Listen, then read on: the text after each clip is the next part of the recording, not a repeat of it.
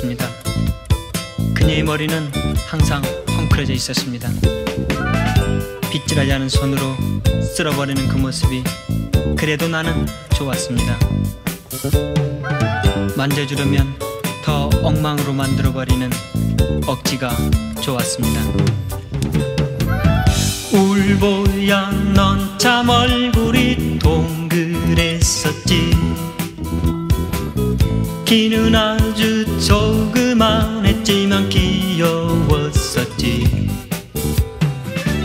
해바라기가 빙글 도는 어느 가을날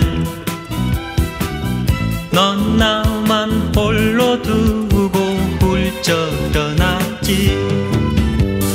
가을 하늘 푸른 하늘 꽃구름 속에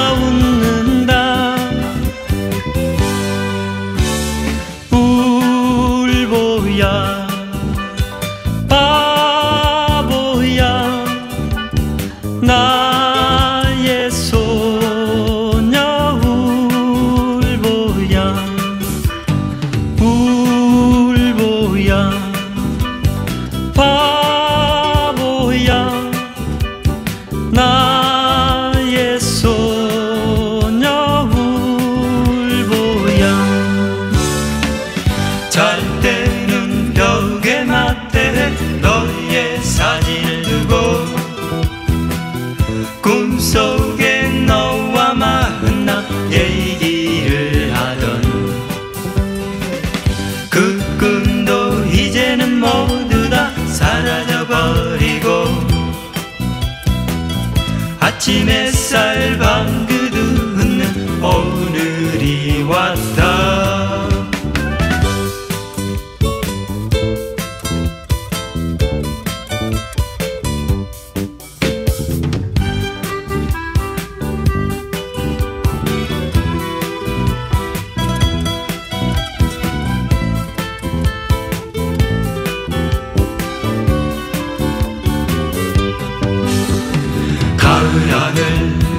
푸른 하늘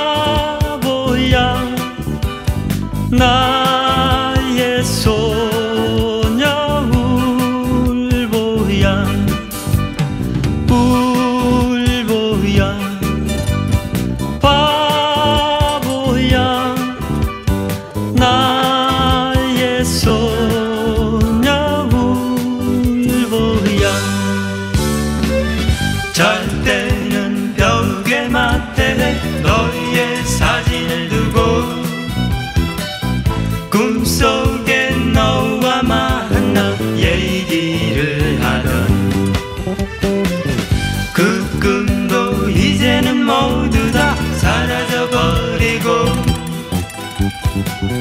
아침 햇살 방긋 웃는 오늘이 왔다